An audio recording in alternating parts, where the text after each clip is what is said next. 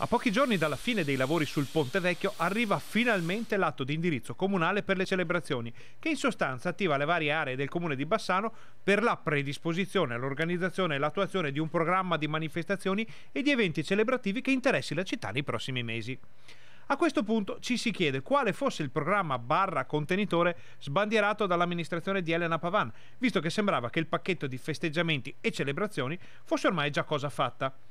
Ci si chiede anche come mai l'atto di indirizzo sia partito solamente ora ad aprile inoltrato, come se la riapertura del ponte fosse una novità piombata sul municipio giusto una manciata di giorni fa e non una data importantissima che si conosce ormai da molto tempo.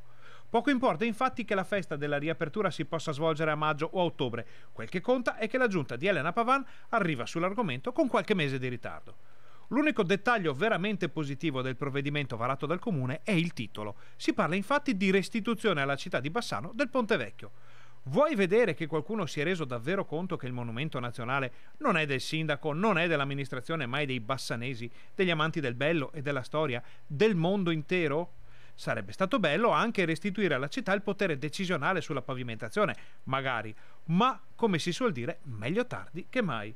E stiamo parlando anche delle celebrazioni, per chi non se ne fosse reso conto.